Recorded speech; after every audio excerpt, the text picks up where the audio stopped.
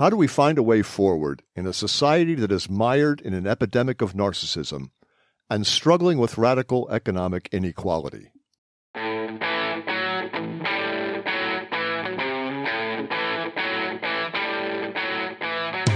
Welcome to the Hub for Important Ideas. I'm Steve James. And I'm Ken Swain. In this second of three episodes, we expand our discussion of narcissism to more fully understand what it means to individuals and to our society. We're going to return to a conversation we had with Dr. Sheldon Solomon a few weeks ago. We asked him to elaborate on his ideas about narcissism and its dangers. In this episode, he lays out the fundamentals and the impact narcissism has on economic inequality. In the third and final installment, he extends the concerns into other areas and we explore opportunities for hope. Sheldon Solomon, PhD, is a social psychologist at Skidmore College. He is best known for co developing terror management theory with Jeff Greenberg and Tom Pyszczynski, which is concerned with how humans deal with their own sense of mortality. He is the author or co author of over a hundred articles and several books, and has been featured in several films, television documentaries, and radio interviews. He co authored the book The Worm at the Core on the Role of Death in Life with Greenberg and Pyszczynski. He most recently appeared in the documentary Planet of the Humans. Here's the conversation with Dr. Solomon. We're recording in Ken Swain's cottage. living room in this cottage, and we have with us our friend and mentor, Sheldon Solomon. And we're thrilled about it. I, beyond belief. Oh, it's great. It's my birthday weekend, and this is the present I would have asked for. Happy birthday. Thank yeah, you. Happy yeah. birthday. Birthdays are much more fun on the first half of life. Yeah, that's before you cross say. that 50 yard line. Once you're in the fourth quarter, we're in the fourth quarter. You could just skip them as far as I'm concerned. It's just one more nail in no, the. No, no, no, no. Thousand Clowns. Remember Thousand Clowns? Yes, you gotta, I do. You got to count your birthdays. You got to count every day well, they just go right by. I know. Uh, so yeah, so They're happy, going. so happy birthday. Thank you, thank you. Right, Sheldon, welcome to the Hub for Important Ideas. Thank you, Steve. Thank you, Ken. I'm delighted to be here today. Thank you for making this this trek out here. We really appreciate it. It's, it's awesome. It's, and it's great to see you again. So, Sheldon, we've been talking over the last few days about narcissism and that's a term that has really come into public discourse with the rise of, of Donald Trump, but also because of the number of studies that have been done recently. And you pointed out a book written in 1979, which is kind of incredible. Would you tell us, first of all, what is narcissism? And is there, in fact, a narcissism epidemic in America? Yeah, I'm happy to take a, a shot at it, uh, Stephen and Ken.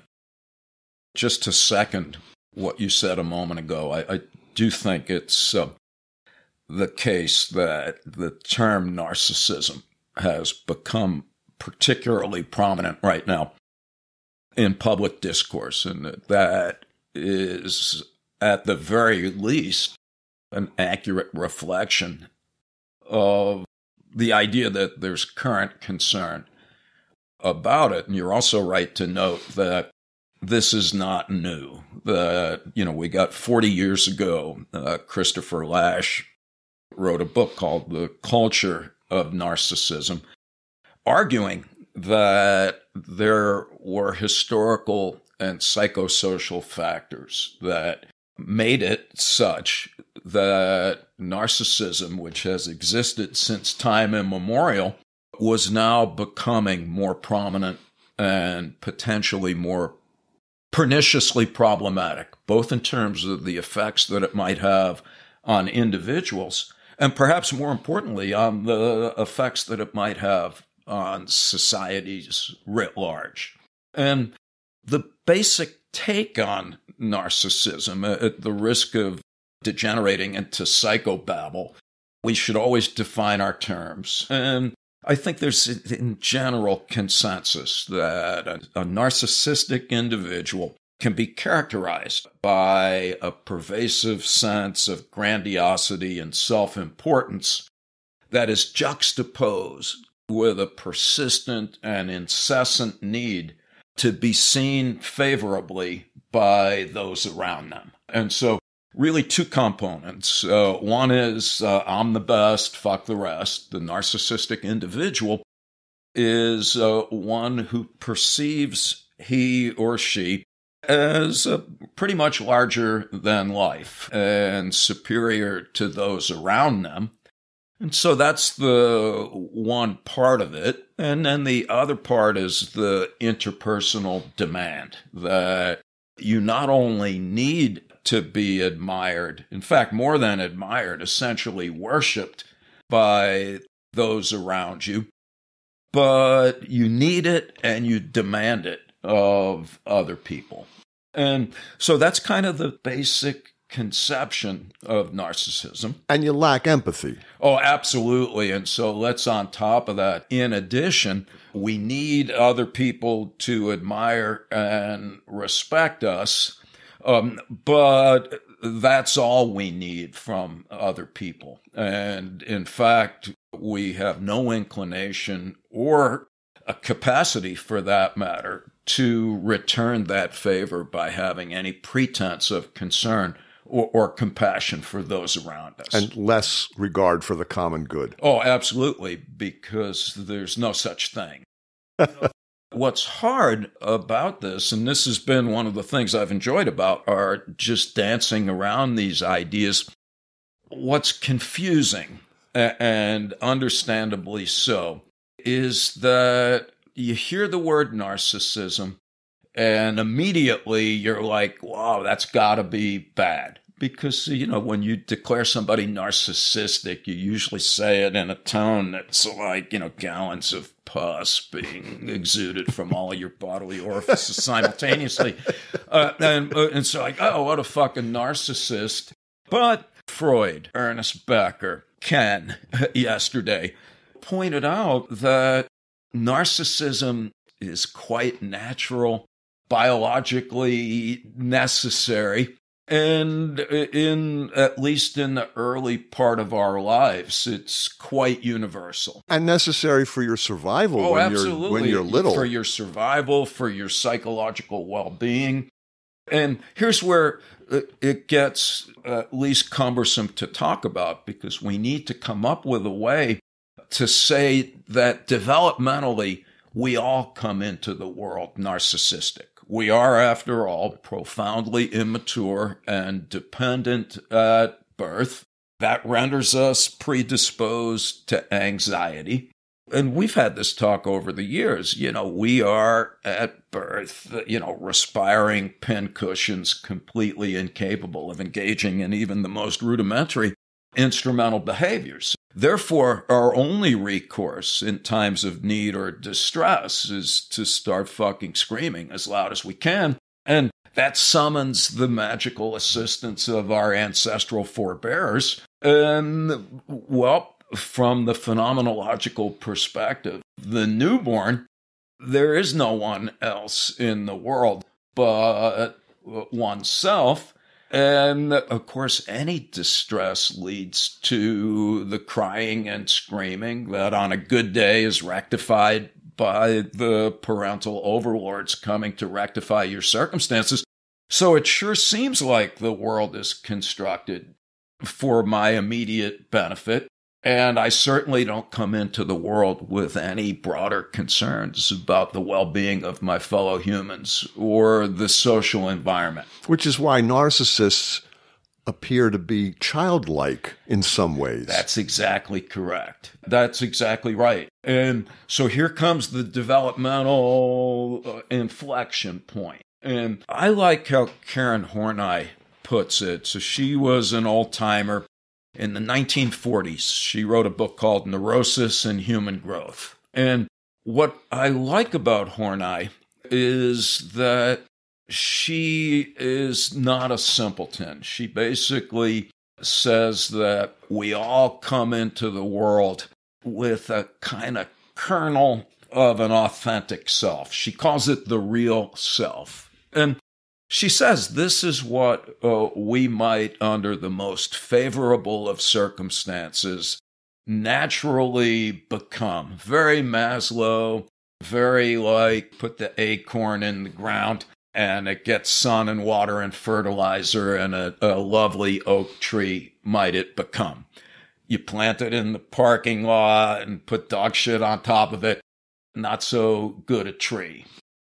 And her point is that, yeah, but th- that doesn't happen because the conditions necessary for the development of this so called real self is an atmosphere of pervasive love and security in childhood. And she goes on to say that that would be great, but it's not possible. Uh, life has a way of impinging upon us. Our parents' own psychological insecurities will render them, even under the best of circumstances, incapable of being anything but human, and therefore inevitably as infants, we're going to experience what she calls basic anxiety. Right? Note that this is it's no different than Bowlby talking about anxiety is the impetus for the formation of attachments. It's no different than Darwin saying that humans are uniquely predisposed to be anxious. It's no different than when Becker talks about how the world of the infant is not just Walt Disney like positivity, but rather there's lots of nightmarish and negative intrusions. Well, Horney says, okay, so what happens with this so called basic anxiety? And she argues that that is the impetus for the construction of an idealized and glorified image of ourself that she calls the ideal self. And her point is that the ideal self serves as a proxy. It's not what we are, it's what or who we wish to be. And that the primary function of the idealized self is to ward off anxiety by giving us an ultimately fictitious sense of self regard. But this is normal, healthy, uh, what we consider normal, It healthy development. It is normal, healthy development. And now the issue for Horney is what happens thereafter vis a vis the dynamic relationship between these two different selves. And she says, well, one possibility is that this so called real self ends up getting the psychological upper hand. And these idealized aspects of ourself, which all of us have, are somewhat suppressed or diminished. On the other side of the psychological spectrum is when the idealized self literally dominates and replaces all vestiges of this so called real self and becomes the be all and end all of our psychic existence. For Horney, this is a tragedy because you spend your life, whether you're aware of it or not, psychologically preoccupied with maintaining this grotesquely overinflated image of yourself at the expense of becoming who you are. But that's not necessarily your choice. That might be because you're just trying to survive is- in a dysfunctional family with Absolutely. a sociopathic father like Donald Trump. Yes, could also be temperamental to begin with. So here, uh, at what I was looking up, you know, Temperamental meaning bi- genetic. biologically Right, predisposed. gotcha. So uh, we know, for example, that the heritability quotient for pathological narcissism is relatively high. English translation. If you have identical twins that are separated at birth and reared in radically different cultural milieus, if one twin is pathologically narcissistic, the other is more likely to be. It's not 100%. If it was, we'd be done talking because that would be end of the story. You know, it's like sickle cell anemia. You either have it or you don't. So, what this tells us is that there is a biological predisposition to become narcissistic in the unfortunate sense of the word, but it must also be stimulated by adverse psychosocial circumstances that we need to talk about. Okay. Go ahead, Steve. Okay, but what we're reading now, what we're seeing, are studies that involve, I think it was like 35,000 people. And they're saying the results of these studies are showing there's a rise in narcissism in our society, particularly among millennials, Yeah. which is very problematic because the young seem to be more narcissistic. When you think about it, the generations before us were devoted to winning the war collectively, working together to win the war. So the focus on the individual was greatly reduced. But now the focus is on the famous person, the arrogant person, the loud person. And that's who we emulate. That's who we reward. We, we, noted the, uh, the study of narcissistic posts on Facebook get more likes, which to me is completely counterintuitive. When I encounter narcissism, I cringe. And yet, in our larger society, it's admired, it's revered. If it's genetic, okay, but why would there be what some people are calling an epidemic of narcissism? It would be uh, because the culture itself maps onto the very attributes that are clinically manifested. And so maybe let's get there by making the distinction between narcissism and genuine self-regard. Does Self esteem. yeah, or self-esteem. Yeah. And again, I uh, at the risk of being redundant, what we want to have it both ways and we want to say that yeah, we all come into the world fundamentally narcissistic. We all come into the world wanting other people to perceive us positively. But now what happens such that some people end up being malignantly narcissistic while others end up being, relatively speaking, more in possession of genuine self esteem. And noting, I think, one of the things that I like about Horney, and I'm not being very uh, linear or orderly today, but no matter, Horney insists that we are all simultaneously genuine individuals, real selves, as well as neurotic caricatures of ourselves in the form of these idealized images. So when you ask the question, Am I narcissistic or do I have genuine self esteem? Uh, with all due respect, that's the wrong question. The question is, what proportion of my time and psychic life is being ultimately determined by which aspect of these selves, which are always simultaneously operative in dynamic tension. And in that sense, personality is better seen as an ongoing process rather than a set of static attributes. All right, so be that as it may, Horney goes on and you'll notice that she's just going to end up with the definition of narcissism that uh, I was spouting at the outset of our conversation. She's like, well, all right, let's just compare. And I think for our purposes, let's go with three points of comparison. And she says, first of all, that there's a completely different emotional or attitudinal tone between narcissism and genuine self esteem. And she describes it in terms of arrogance versus humility. She says, look, what really, when you look at the narcissistic individual, what you find is that their self regard is completely contingent on being better than those around them.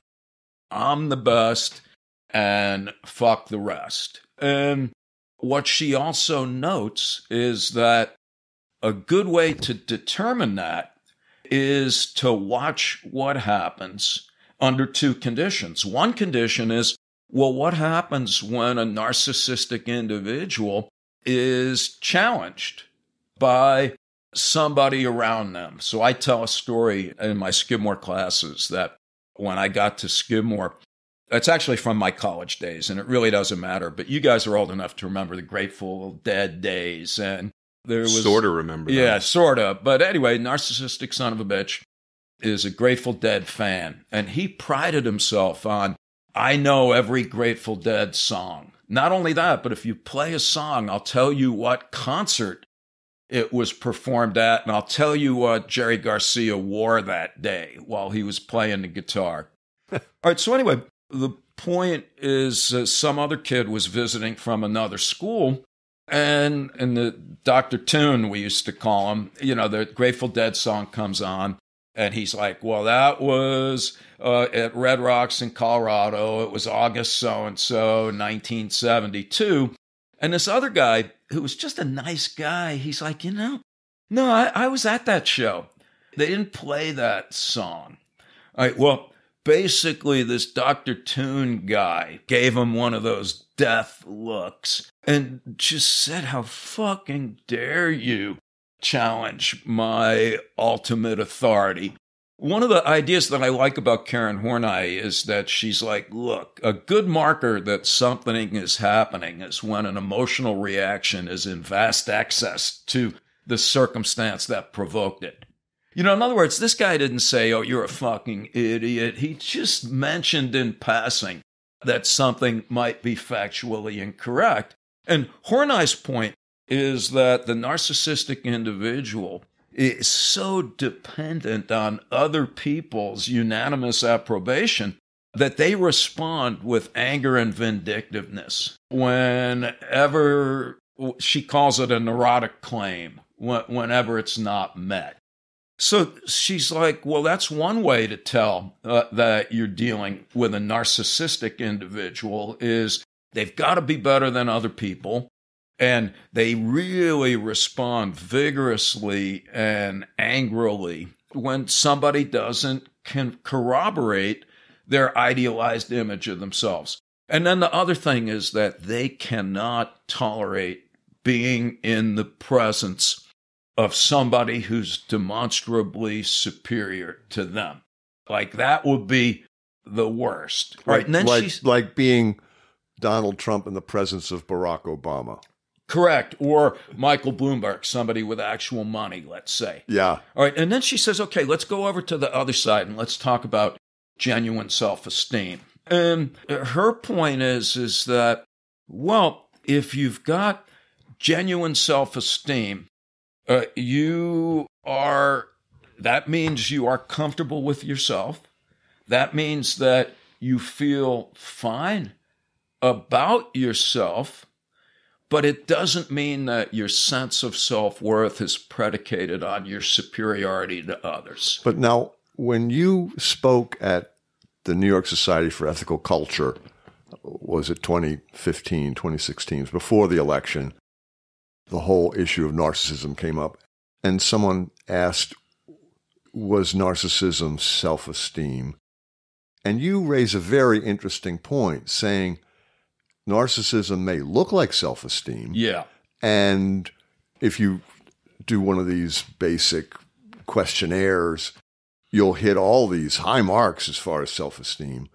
But implicit self esteem is lacking in the narcissist. Yeah, that's that's correct. Uh, so what we want to note as we tr- as we trot through these Horney things is that the narcissistic individual is driven by efforts to minimize basic anxiety. It's a defensive reaction because the goal is the preservation of an idealized and ultimately fictitious image. You're an expert on Ernest Becker. We're big Becker fans. And of course, terror management theory also says that self esteem is a primary defense against death anxiety. That's right. How about narcissism? Is that a defense, and is it a, is it a, an effective defense? Yeah, well, no, it is a defense, and it is a profoundly ineffective one because the narcissistic individual, as we'll see, is persistently insecure and it's ultimately unstable because it's always contingent on constant approval. So let me barf up the other two things and then let's come back to that. So we've got the idea narcissists are arrogant, genuine self esteem is humble. And Carlos Castaneda, you guys remember him Yeah. from the old days. What a dick. So I love his books, but he was a fraud. He never left his room in UCLA. But I didn't know that. all right, frauds are people too. And and I love the Don Juan uh, quote where, where he says the average person seeks approval in the eyes of others and calls it self confidence, whereas the warrior seeks approval in his own eyes and calls it humility. That just sums it up. and uh, live with death at your elbow. That's correct. So again, these guys had it down. All right, so we have arrogance versus humility. And then the, the next point of comparison uh, is hypersensitivity and ultimate receptivity to constructive criticism. So the point is, Horney says, look, the narcissistic individual has no desire to change. They are already legends in their own mind, and therefore they vigorously resist and are actively hostile to any kind of inference that they might be other than perfect. But now you send us this article, which was real eye opening for us because we had never heard the term collective narcissism. Yep. And that really hit home because I've thought about this statistic that we've trotted out before that well over 40% of white Americans believe that they are discriminated against because of the color of their skin. Now, anybody who thinks about that for very long starts to say to themselves, well, wait a minute, you mean they look at affirmative action as an action against their group? They look at one in a million white people not getting the job because a black person got it. They see that as discrimination. And I thought, wow, that's like collective narcissism. Yeah, that would be the resistance to constructive criticism and a defensive counter punch, psychologically speaking, to that. So, yeah, absolutely. And again, move to return to that. So, you got the narcissist saying they are adamantly opposed. They can't be wrong. And, you know, we don't want to make this only about Donald Trump. And yet, for the average person that, may be listening to this, when we talk about individual narcissism of a particularly malignant kind, well, Trump is the best of examples. I forget which Harvard professor, famous psychiatrist, said, I will no longer have to work very hard to talk about pathological narcissism. I will show them five minutes of Donald Trump at random, and that will do the trick because here's somebody who is viscerally incapable of being criticized, always denounces people who do that because, again, I'm the best, only I can do it, and that's all there is to it. All right, genuine self esteem. People with genuine self regard are all too human. They don't necessarily like it when they are criticized. But have you ever been, uh, you know, this is a rhetorical question, but feel free to jump in. Have you ever gotten negative feedback that your immediate reaction was like, fuck that? But you calm down maybe a couple of minutes or years later, and you're like, wait a minute, they're right They were right on the they money with that. right. With Horney, because, and this is because of you, Ken, and I mean this in a compliment. When you put things on a continuum, you're acknowledging that it's not either or. Yeah.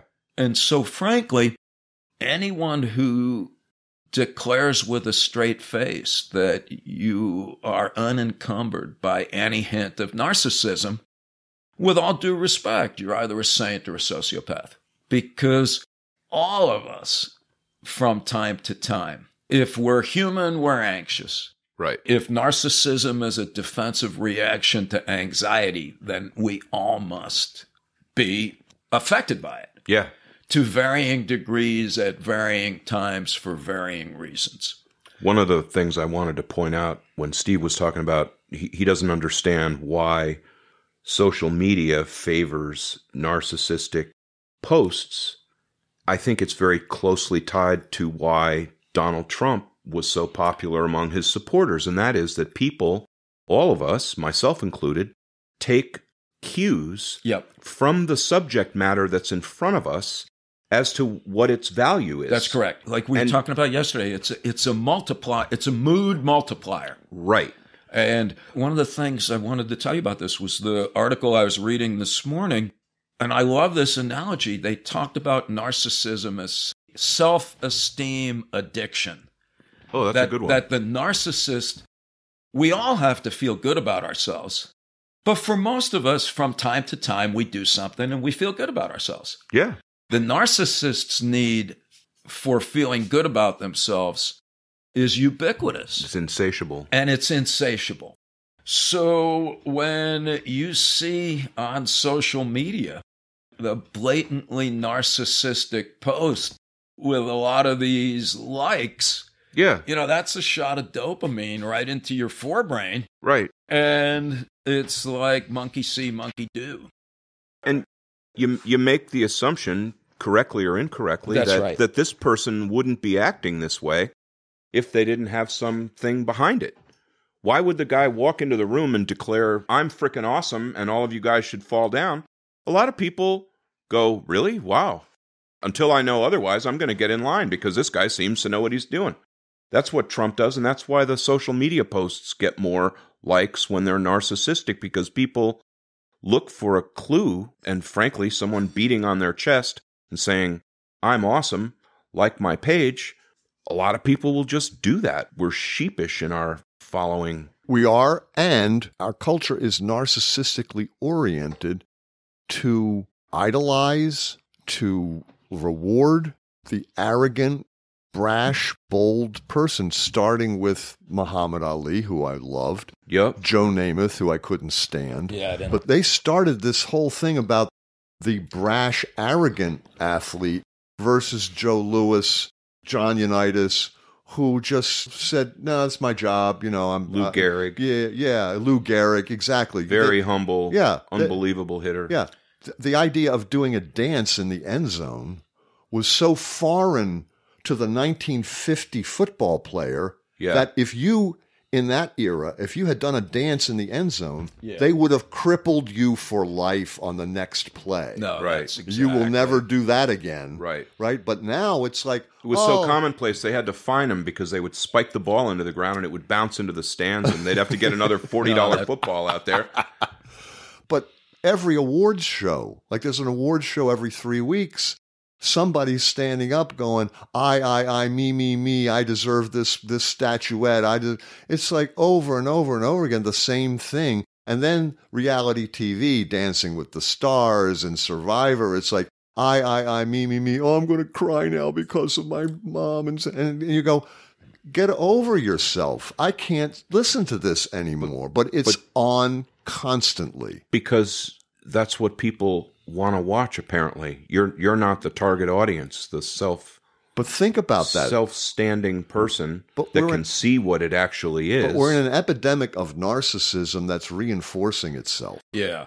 That's what you're saying, a spiral. Right. This yeah. is- So again, let's get there. All right. So we got arrogance versus humility. We have receptivity or hyper rejection of criticism back to genuine self esteem.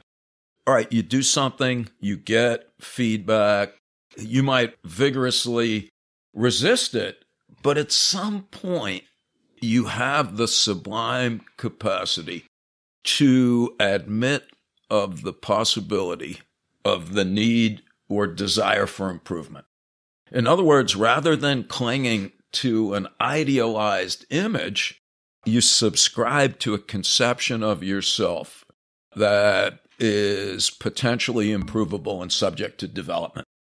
You know, I'll, I'll never forget our book, The Worm at the Core. I, we may have talked about this, but we wrote the book. I wrote a lot of it. I thought what I wrote is great. I send it to the editor. We don't hear anything.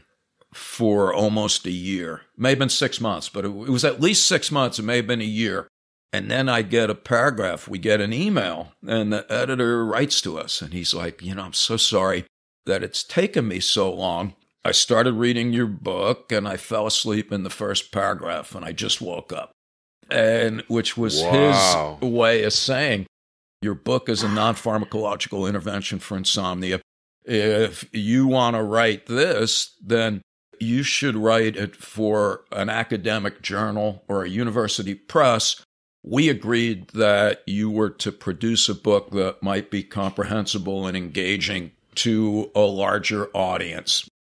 Well, my original reaction was to hop over to fucking Walmart. Screw you, dude. Buy a machine gun uh, and, uh, you know, take him out as well as the entire floor uh, of the publishing house. But I'm not proud of that reaction, but that was. And then it took me a while to be like, fuck, this guy is a, an accomplished editor. And looking at what we did, he's right. And so, okay, so let's leave it at that. Finally, and this is where Horney gets, uh, in my opinion, just really profoundly important as well as clinically correct. She says, look, what drives the behavior of the narcissist is the need to preserve the grandiose impression of themselves. And therefore, everything they do must be viewed in that regard, or everything they don't do. And that they will systematically avoid at all costs any engagement with other people or reality that might undermine their impressions of themselves. All right, so back to my days at Skidmore. I get to Skidmore, and there's this arrogant son of a bitch who was on the tennis team. And he used to wear a fucking headband and, you know, the things on your wrists, and he'd come in like bouncing a fucking tennis ball on a racket. Björn Borg. Yeah, that, was back in the day. Jimmy Connors, Bork, Chris Evert, and he'd be like, "Come on, uh, let's play tennis. I'll kick your ass. I'll play left-handed if you want." And the fact is, is the guy was very good, and he could beat anybody at Skidmore. All right, but in Schenectady, right by where Saratoga is, you know, half an hour from Saratoga, there's a pro am tennis tournament every year back in the day uh, where Borg and Jimmy Connors and McEnroe and I can't remember who the women were back in the day uh, Martina Navratilova, Chris Evert, doesn't really matter. The pros would come. And if you were an amateur tennis player, you could go get your ass kicked by the best. And so every year, other students at Skidmore would say to this guy, You know, are you going to the tournament? And every year he'd be like, Yeah, yeah. And then the tournament would happen. They'd be like, How'd it go?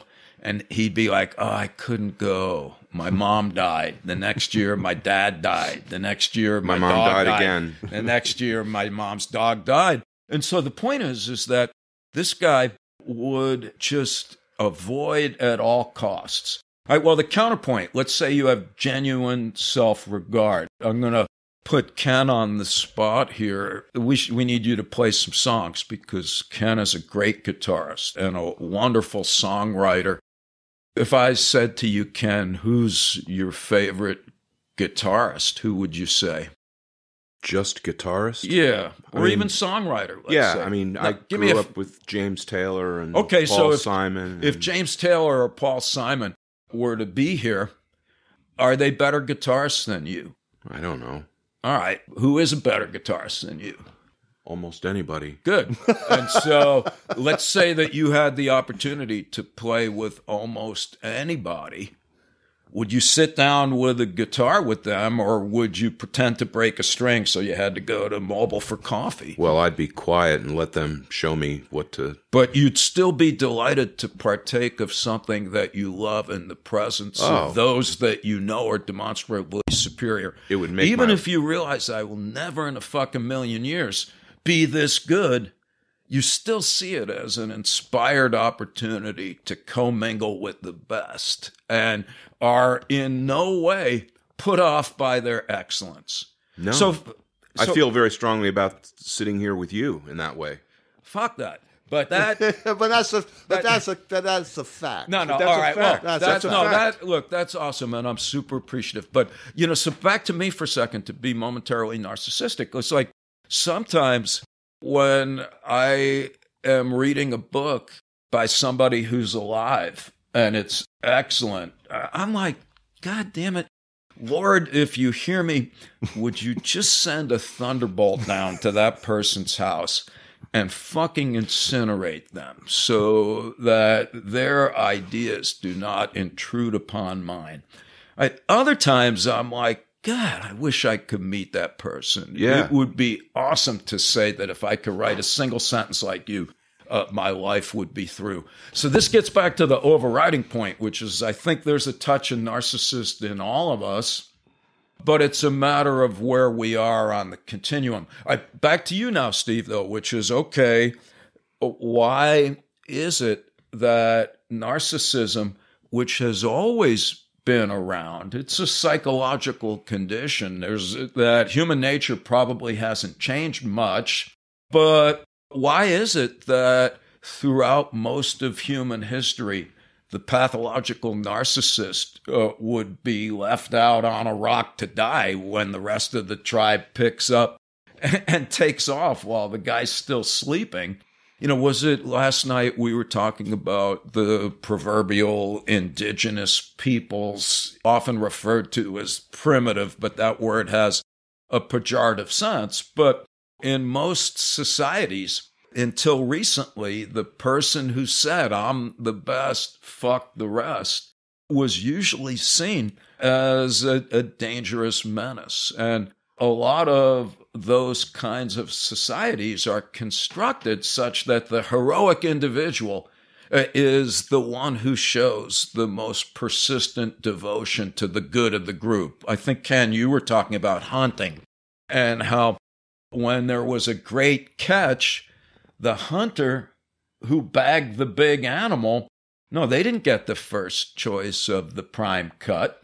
They would get what's left over after everyone else had been uh, satisfied. That was the self-esteem associated with the kill. That's it wasn't, right. It wasn't what we do here. There you go. It was uh, almost a religious, like it was something you would learn in church. Like the, you take care of the other guys first. That's and right. if there's anything left over for you, so his greatest reward was bringing this back and bestowing the bounty on his fellow people. Yeah, there you go. So, and note though that even though these so called primitive peoples don't have any explicit sociology or anthropology or even psychology, that that's built on the assumption of an uber social, mutually independent set of individuals incapable of surviving in the absence of that kind of supportive and cooperative behavior.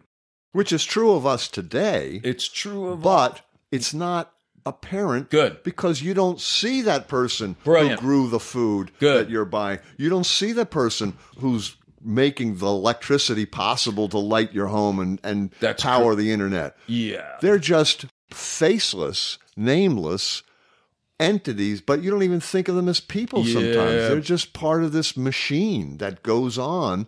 And so it's you and all this stuff. Good. So there again, Steve, brilliant. And it raises the question how did we get to the point where we have degenerated into essentially autistic, self absorbed monads? But not only that, because we're cultural critics, right? We, we, learned We that. declared ourselves We just that, and that's cul- what you have to do. Yeah. We're Just cultural declare it so. Yes. So so we look at it and go, you go online, you look up narcissism on the internet, and you see all these articles on you don't want to date a narcissist because they're very charming and very attractive at first, but then it turns out that they're manipulative and then it's all about them and they really lack empathy. So you're not going to have a satisfying relationship. So don't date a narcissist. And I think to myself, well, that's probably good advice. It sure is. But what you're saying basically is they're annoying, right? Their narcissists are annoying. But what we're saying is collective narcissism is more than annoying.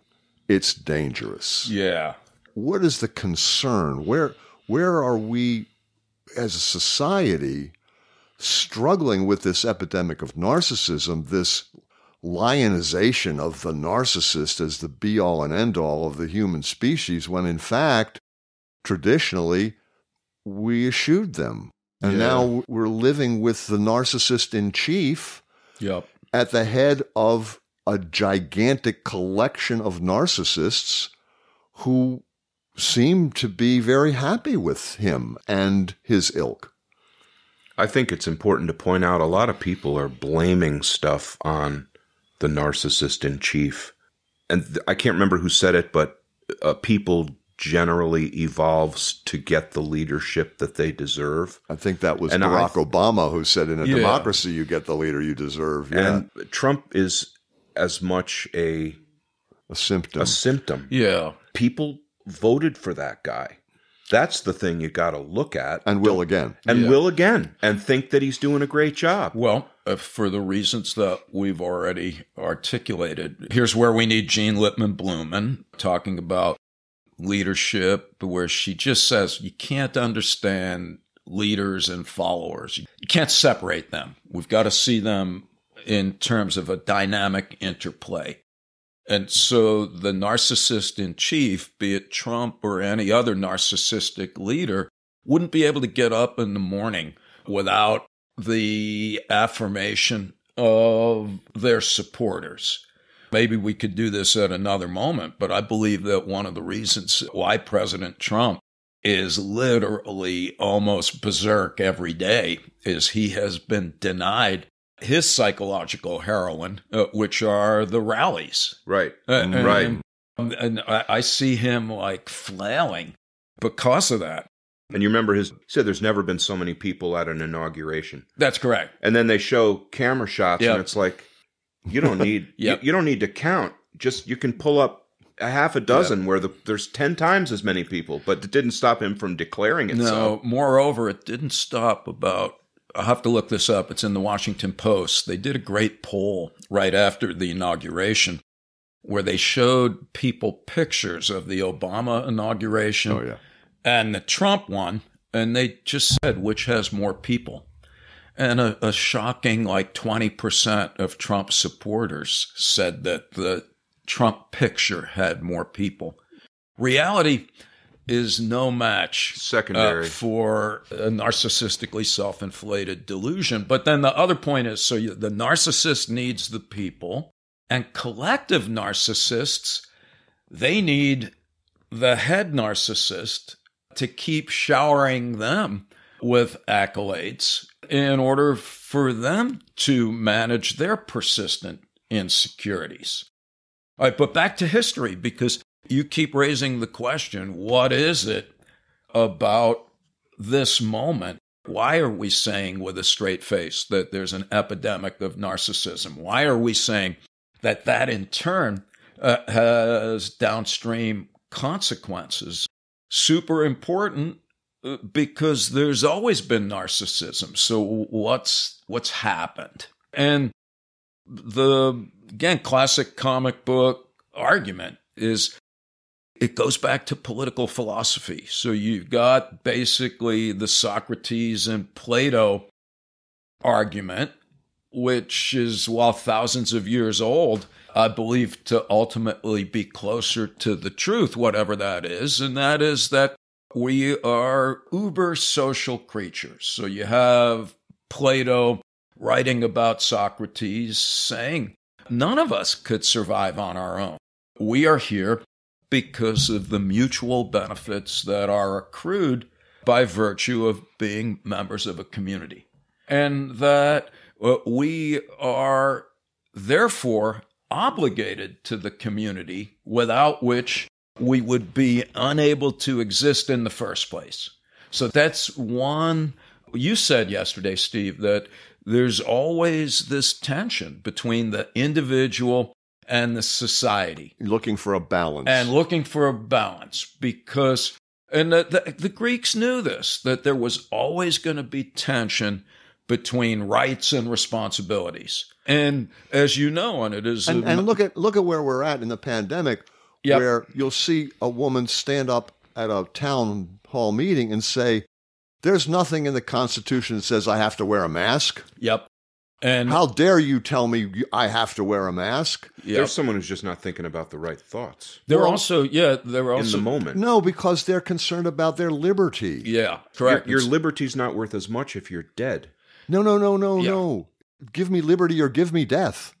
Liberty is all important to the libertarian mind. Yeah. But doesn't this almost fall into the you can't yell fire in a crowded theater?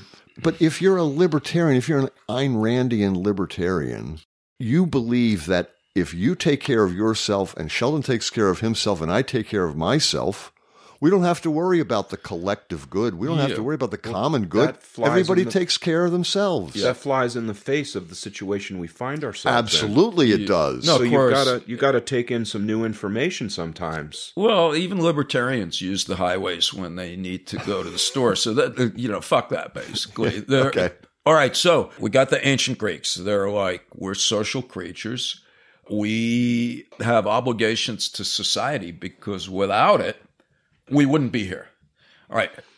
Fine. I think sorry to Uh, jump in, but I think that was a really important point where he just said we have an obligation to the society because we need the society to be ourselves. Yeah, without this- it, this is without really it, we important. don't we don't really. That's really important. Yeah, because moreover, if you accept that assumption, then the idea that there's anything uh, remotely resembling a natural right that is not coincidentally and explicitly connected to the responsibilities that provide for that right to arise in the first place is you're missing the point. Even John Locke, who we're going to talk about right now, points out that there's no such thing as an unencumbered right in a civil society. So, you know, again, we need like five minutes of the Locke dude in order to get to uh, Ronald Reagan, in order to get to today. Because here's the fucking Locke, 1690, second treatise on government. And what Locke is trying desperately to do, and the guy's a genius, what he wants to do is to get us out of centuries of despotic rule by divine right.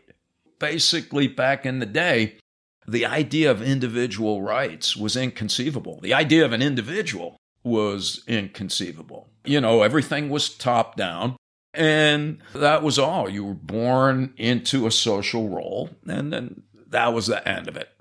So, Locke, what he does is to say that that's not a natural state of affairs. And he says, let's go back and think about the way people were in a state of nature. And he just says, in a state of nature, there are no societies. There's just individuals, which he defined.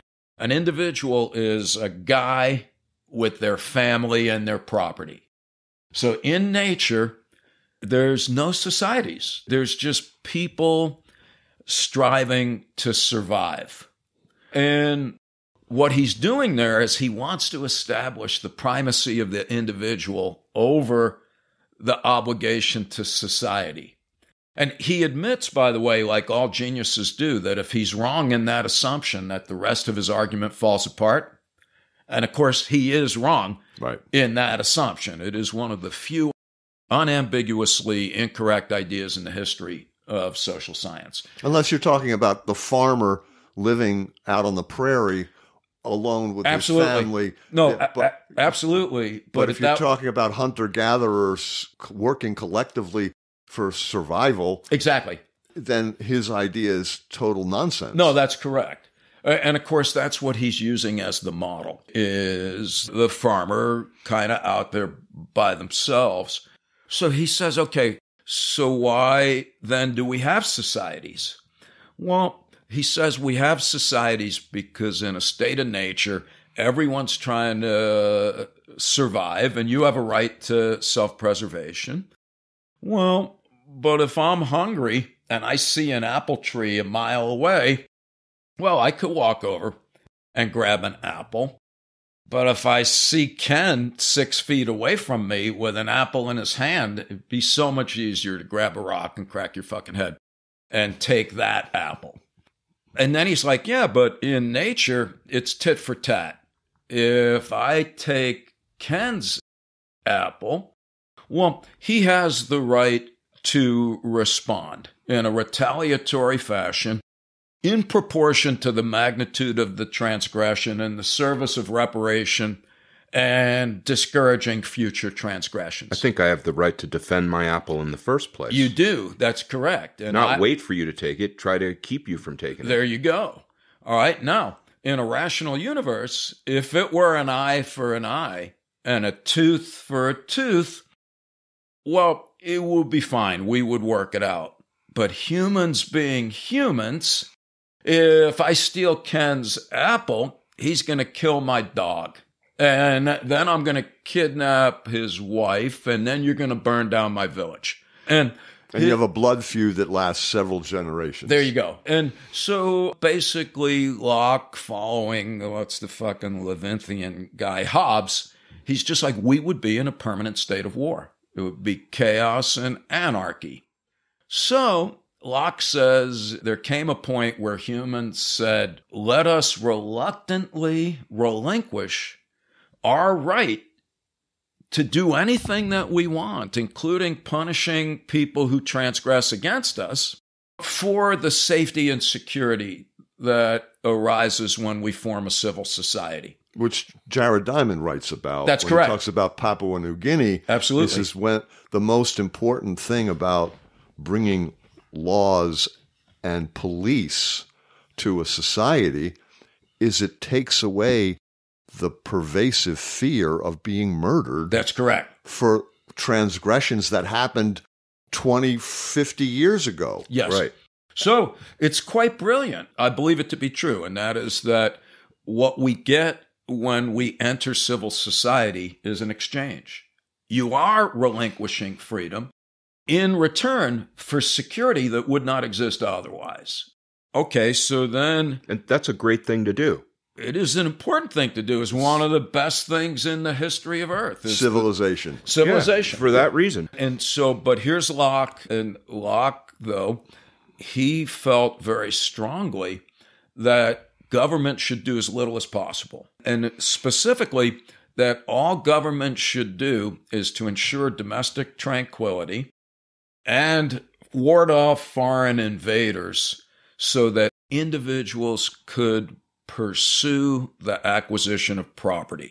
Boy, does this sound like Ronald Reagan? If anyone, all the way up to there, Mitch you, there you go, McConnell. Steve. So my point, if anyone from Reagan on, anyone from Milton Friedman on, whenever you hear what they're saying, you need to realize that they're just they're parroting Locke. But we have to listen to Locke though, because He was he was the word for 150 years. and still, no, it's still very much with us. And this is why a lot of our concerns about, I don't disagree at all, rampant economic insecurity is what is arguably putting us in the most vulnerable position right now in terms of instability, with the possible exception of the pandemic and the incoming environmental apocalypse.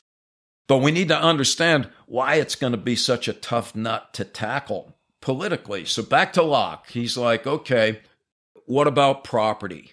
And because, and then Locke, because he has uh, integrity, he's like, wait a minute, there's no property in the Bible, no private property in the Bible. In fact, the Bible, Jesus is a communist. The Bible says that God provided nature for all of us to use, and we all have an equal right to it. We should emphasize that for our friends that purport to embrace biblical values. Uh, there is, uh, there. Or we uh, should just read them the Sermon on the Mount once in a a- while. a- any of those things. Blessed are the but- meek, you know. But so one. John Locke starts with an accurate recognition of the fundamental equality of everybody as well as our right to survive. And so he says, okay, there is no property in the Bible, but surely natural law is such that you have a right to live.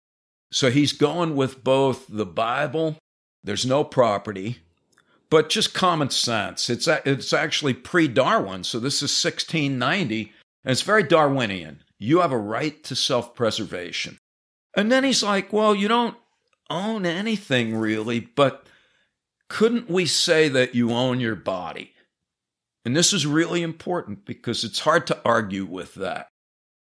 Although, truth be told, and a story for another time is like, no, not everybody grants that because if you're on your body, then suicide should be acceptable. But let's forget about that for the or moment. pregnancy. Yeah, or any Yeah, of those yeah. things.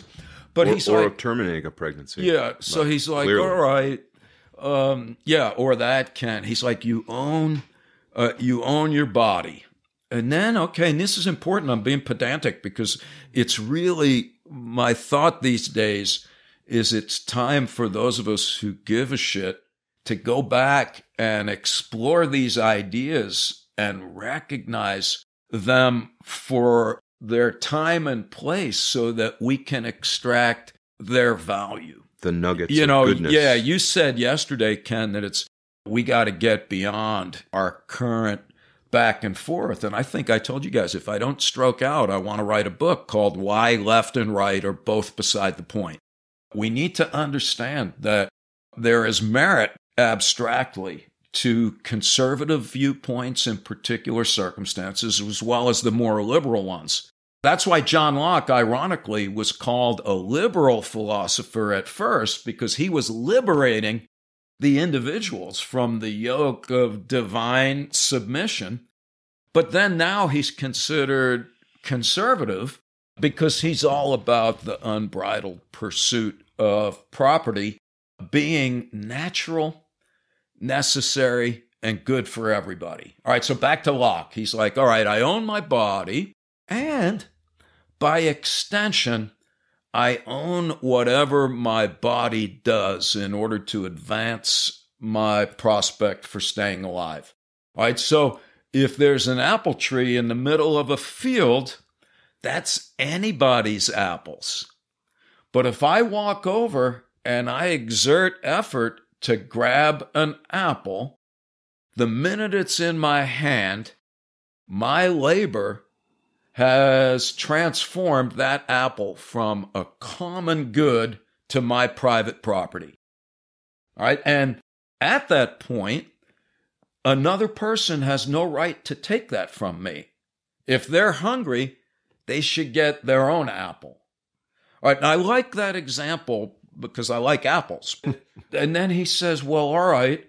Well, how much property can you have? And his answer is you can have as much as you legitimately acquire by virtue of honest effort, as long as, one, you don't in the process deny other people an opportunity to do the same, and two, that you don't take more than you can use. Wow. And so Wow. That's a big one. it's a fucking a huge, huge one. one. I'm like, read that fucking thing because he's like, that's a sin. Because in fact, if you take more apples than you're going to use, you're letting something spoil that other people might have otherwise taken advantage of. And see, this is why these points are really important. And so he's like, if you want to put a fence around an apple tree, that's your apple tree. Hmm. If you want to put a fucking fence around Nebraska, then you own Nebraska. But think about this because John Locke does. He is assuming a world that is infinitely large and infinitely rich. Hmm. Because he says, well, England's pretty full, but if you want to have some land, go to America. It's empty. There's nobody there There's but a few there. savages. Yeah, 20 million savages. So, but, yeah. so note though that in a world that has never existed, but that in principle, if every one of us could be successful in proportion to the effort that we expend. So remember the old days in the 1950s or 1960s, if you were a white guy and you wanted a job, what did you used to do? You went and applied for a job. Good. And you Because the- you looked in the yeah, fucking yeah. newspaper, Yeah. there were hundreds of jobs. Yeah. You went and got one, even minimum wage. Could provide enough income that you could have an apartment. And if you were persistent, you could move up the proverbial food chain. I'm just talking about white men in certain settings. But if that's the case, then I'm a Republican. In a perfect universe uh, where effort is rewarded in proportion to what one expends, and if there's enough resources to go around, yeah, then you get yours and I'll get mine and everything's fine. All right, so here's where it gets funky though. Locke is brilliant because he says, look, in the old days, things could be fairly stable. You know, I've got a shit ton of apples, you've got a shit ton of cows. My apples are going to rot, your cows are going to die, so you give me a fucking cow and I'll take some bushels of apples and we're even. Moreover, there would come a point where you don't need any more apples or you don't need any more cows, that reality would be the upper limit. And he said all of that changed with the invention of money. And again, it's brilliant. But he's not taking into account the symbolic nature of, he, he is now. stuff. So that's correct. So basically, early on, and he's wrong, by the way, because we've always been concerned about the symbolic nature, but Right. it's a nice tale because his point is, is that anything that's natural is of finite duration and there's an upper limit to how much you want. So basically, you can have enough apples, you can have enough cows, but once you've got money, he's like, what's the difference between money and a cow? He's like, two things. One is you can't eat money, and two is money doesn't die.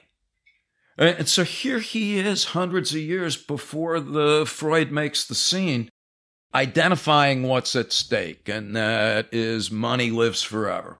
And then he says, well, once there's money, and here's the critical point once there's money, which doesn't rot, you can now have as much money as you want because you do no disservice. He even used the words, he uses the word hoarding. He says you can hoard as much money as you want, and that's perfectly fine because you're nothing is rotting and you do no disservice to your fellow humans in your pursuit of property.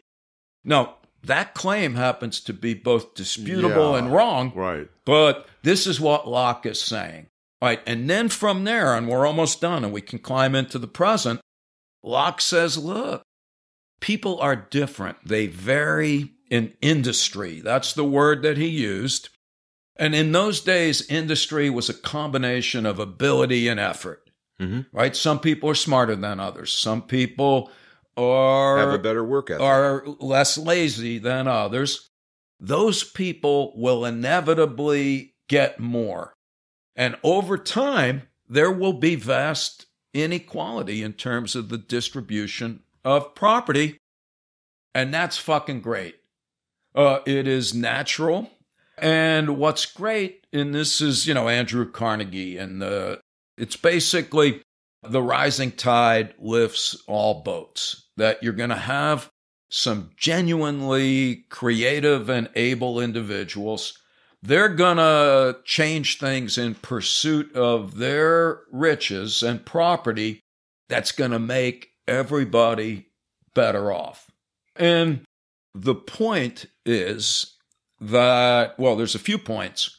One is is that there's some truth to that. Even Marx acknowledged that a byproduct of capitalism is innovation and creativity.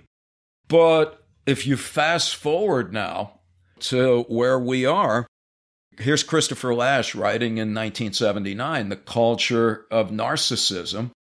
Here's Reagan getting elected in 1980, basically embracing the Ivan Boesky idea that greed is good.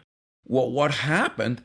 Well, what happened is, according to Ernest Becker, Locke's ideas won, and any quaint ideas about being fundamentally social creatures who have responsibilities to our fellow citizens, which, by the way, those ideas were buttressed by, as you pointed out yesterday, Steve, classical religious views that stressed the value of compassion and cooperation.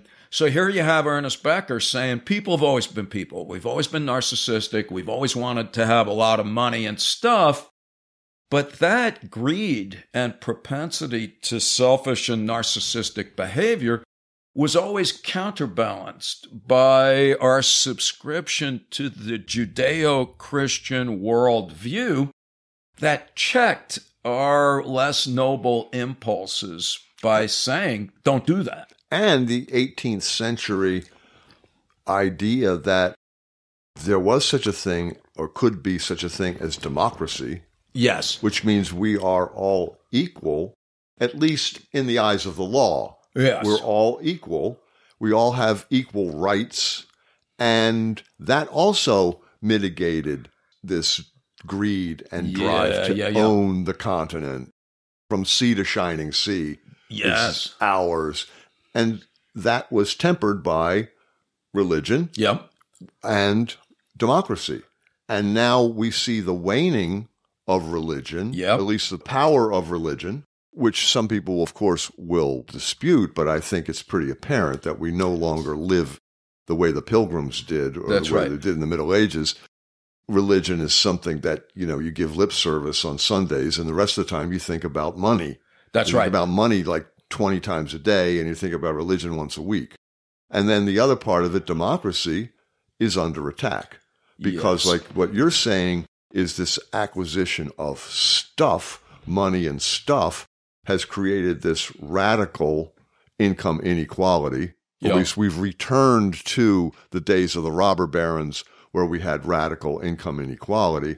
And that is undermining democracy Yeah, we're, that's we're creating a plutocracy. yeah, that's and as, right. And as your favorite historian, Jacques Barzun, predicts, we're going to have a society of oligarchs and peasants, a vast class of people who can neither read nor count.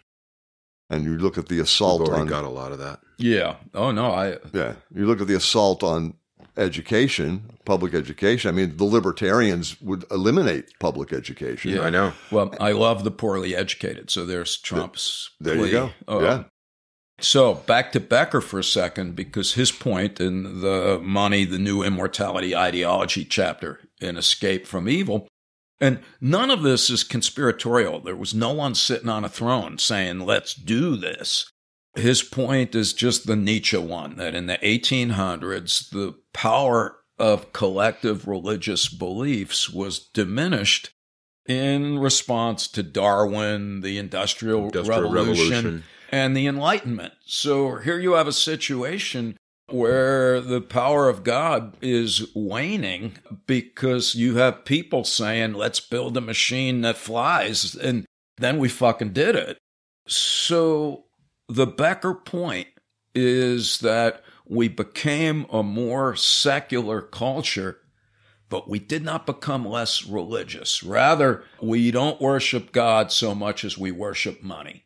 That our insatiable pursuit of money and stuff is driven ultimately by the same death anxiety that is the impetus for embracing religion in the first place. And anyone that disputes that, look on the back of a dollar bill where you're like, in God we trust. And then look at the pyramid to the left of that with the eyeball floating up top, which is an ancient Egyptian symbol of immortality. And then look at the terror management studies, where if you remind people that they're going to die, they say they need more money. They are more eager to buy stuff that conveys high status. They, if you ask them to draw a picture of money, they draw the coins and bills Bigger. bigger. And then my favorite one, if you give people a stack of money to count, not to keep, just to count, death anxiety goes down from just having money in your hand Just being close to it. just being in physical contact with money.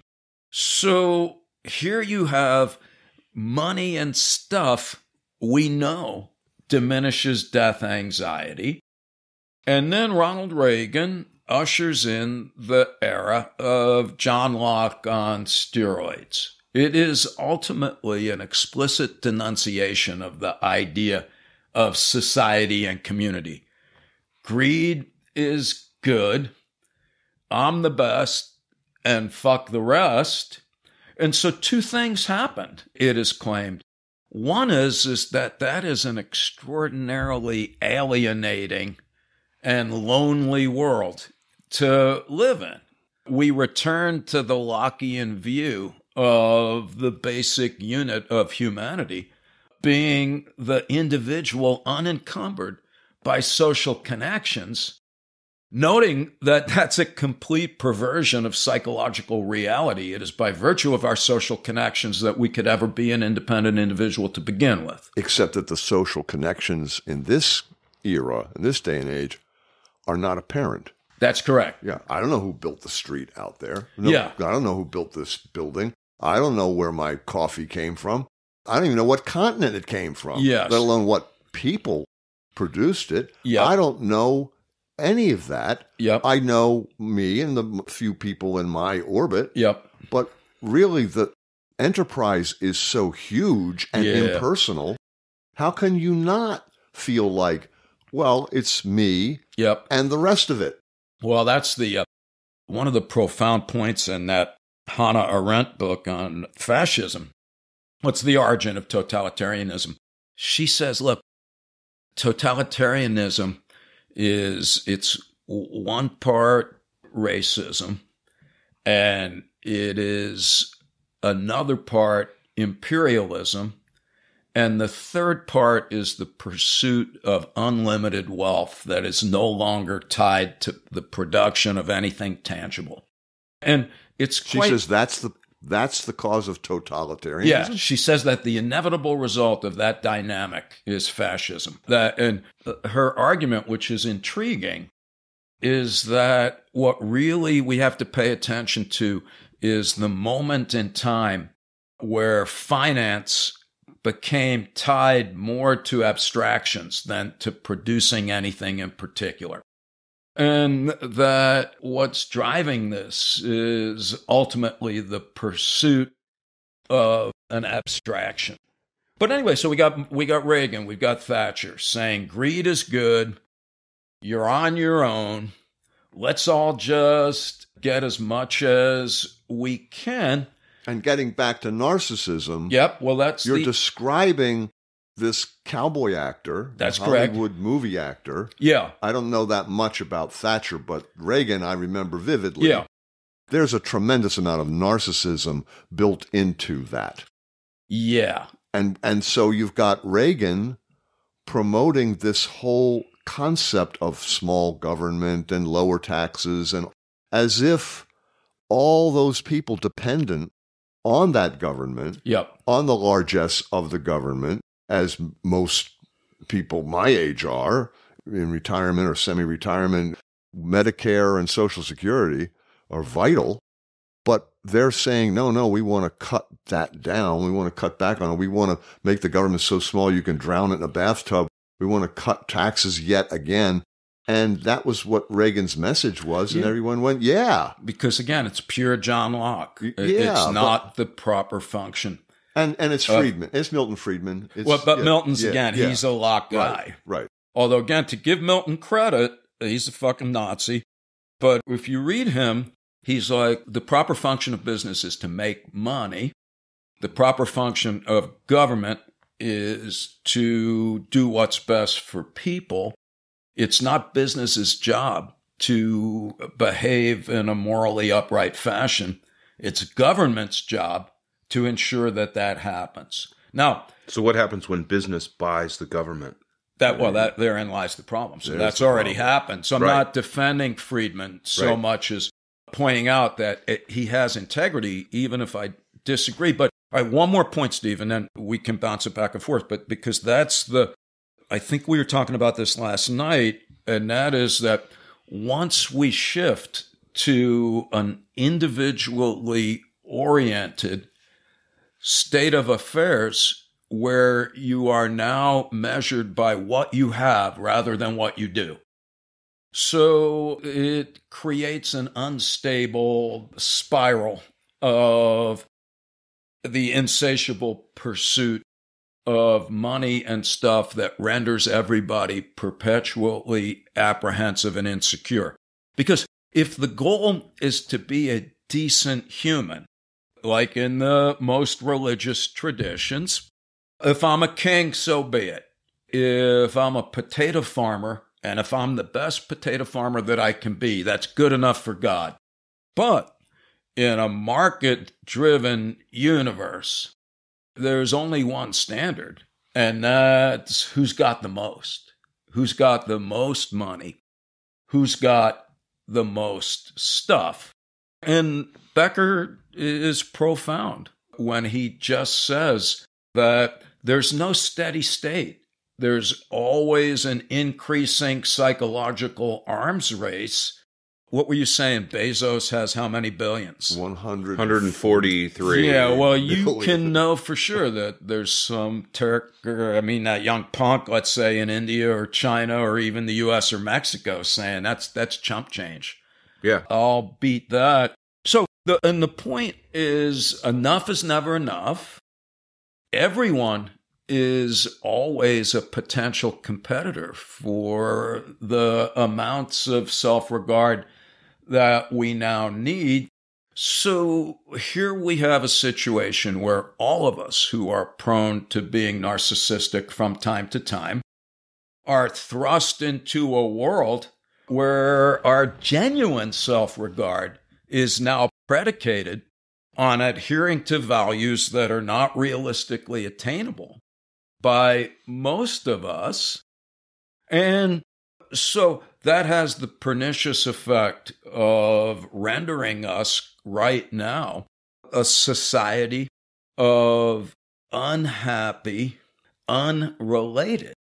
In the very real sense, you said it earlier, Steve, we no longer recognize that we're still fundamentally social creatures that are interdependent upon each other, yeah, but we don't realize that anymore. Uh, uh, not to sound like Father Time, but in the old days, you could ask anybody to draw a map of their neighborhood and tell you who lived in every house, and they would say that. They would know. Most of my students don't know who their neighbors are.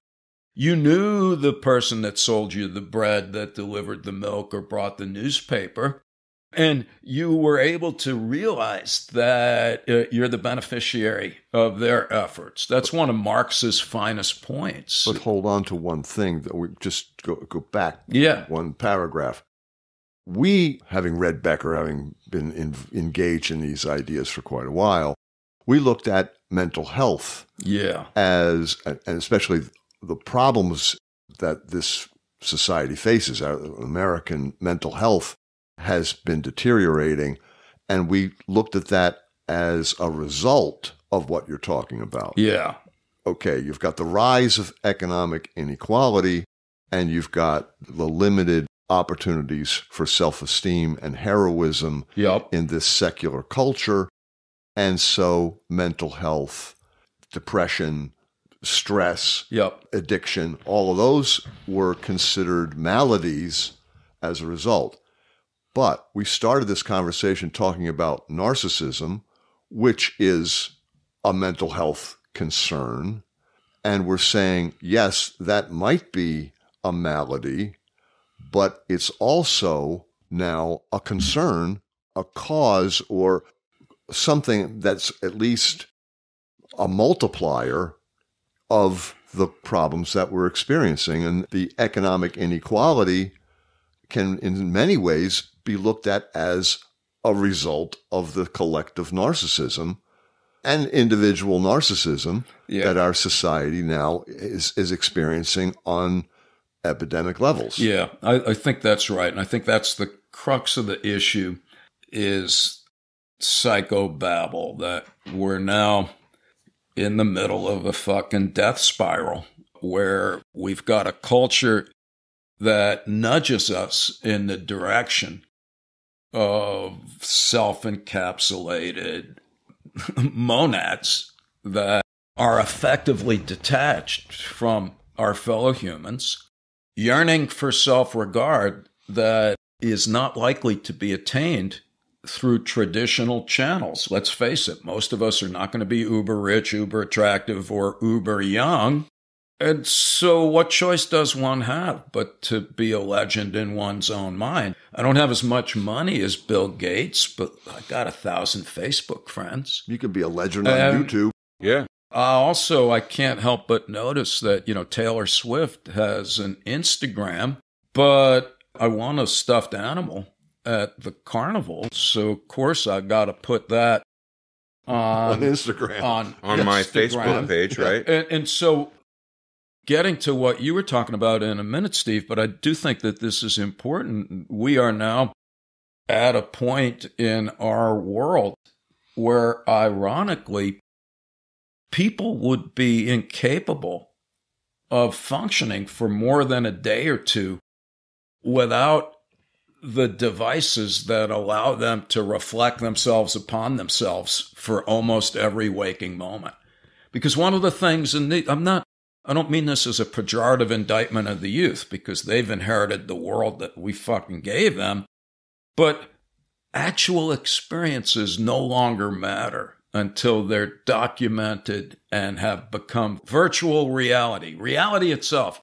So when you go to like fill in the blank Uh, and you see people gazing at the Grand Canyon, but they're not fucking looking at it.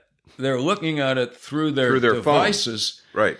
because the experience itself is secondary to the way that they choreograph it for future presentations. The fact is is that I do like the point that what that has done is ironically maybe rendered people less anxious but not happy.